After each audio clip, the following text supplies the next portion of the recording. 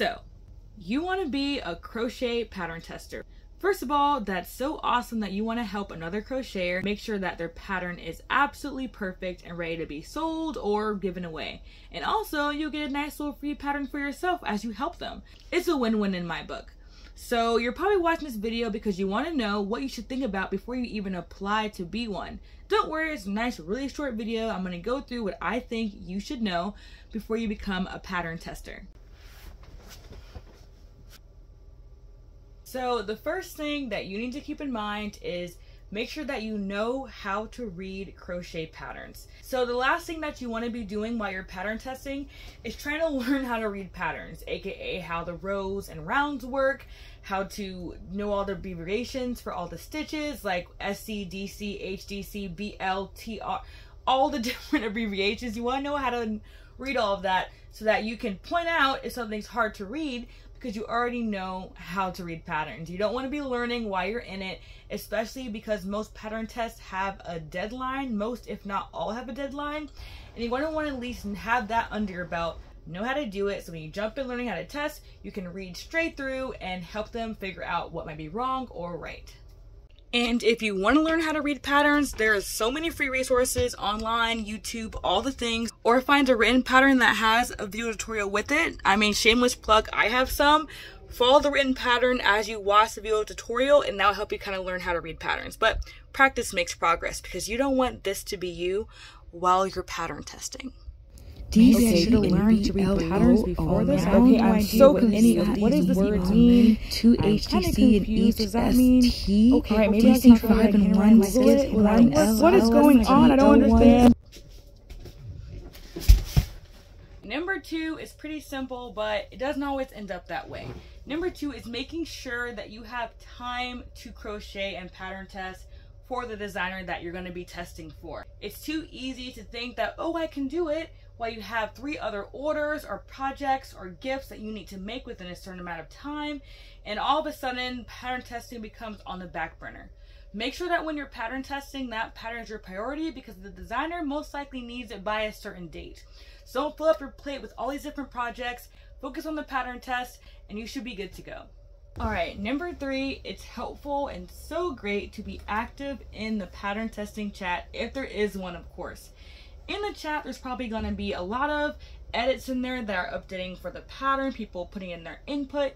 It's good to keep up and see what's being updated and edited. I know I, did, I know I just said that in the pattern to make sure that you're doing the pattern right in real time as it's being tested and all these things basically. I'm not saying you gotta go in there and be like, hey girl, you know what just happened to me last night, blah blah blah blah But you can go in there and say, hey, I found this problem, or can you clarify this?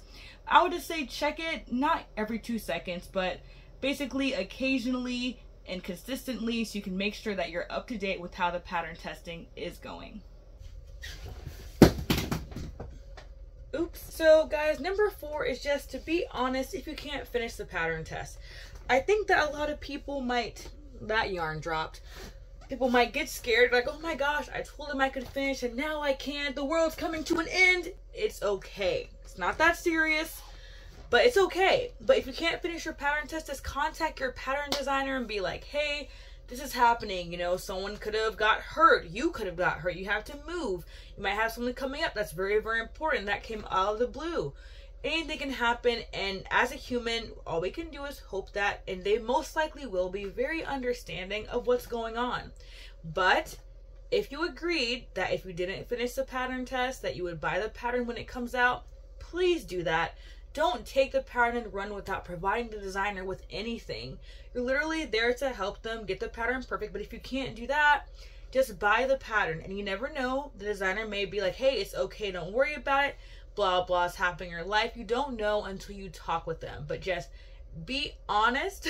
don't try to be scared or hide. It's okay. You know, you're human, they're human, and understanding should happen. All right, so here we are at number five. And number five is optional depending on what your pattern designer wants. But I would say it's very helpful to learn how to take good pictures. this is also good for the future of your crochet if you ever want to make a business out of it. learn how to take good pictures. If your pattern designer would like you know to take some pictures so they can post you for promotion or on their pattern um, listing, just you know try to take a good picture. Don't have a super cluttered background. Try to use natural lighting. That's always really great. It's always better than flash. And just you know make sure that it's a nice, clear, non-blurry picture. So find a nice blank background if you can, or go outside with a nice nature background. It's always a good idea. Get some nice, even um, sunlight or under a tree. Shade is really, really great when it's direct sun outside. But yeah, make sure you're not shaking the camera too much or place it down on something, have someone take it for you, use a tripod. But yeah, just try to get a really nice picture because they're going to promote you and your work and they're going to promote their own pattern. And it's awesome when they have even more pictures to share of their pattern um, made by someone else in different colors. You know, it could be a stuffed animal, you know, how you crocheted it could be like, you know, different than the colors they use, etc., etc. It could be obviously a thousand different things. I always think of clothing number one. But yeah, just try to take good pictures.